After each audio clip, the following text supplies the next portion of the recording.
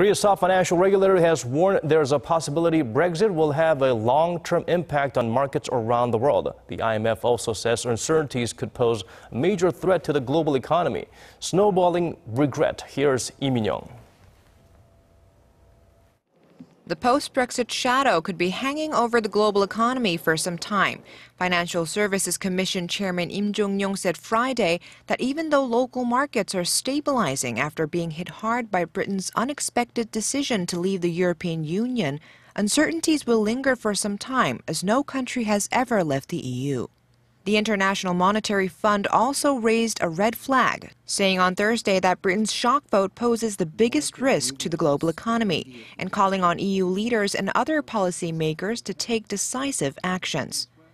I'd say Brexit has created significant uncertainty, and uh, we believe this is likely to dampen growth in the near term, particularly in the UK but with uh, repercussions also for Europe and uh, the global economy. With the EU and UK facing tough negotiations on Britain's departure, the spokesman said that the IMF is urging both to work together toward a smooth transition of their relationship. Meanwhile, Bank of England Governor Mark Carney on Friday indicated some monetary policy easing would be necessary over the summer in response to the post Brexit market turbulence.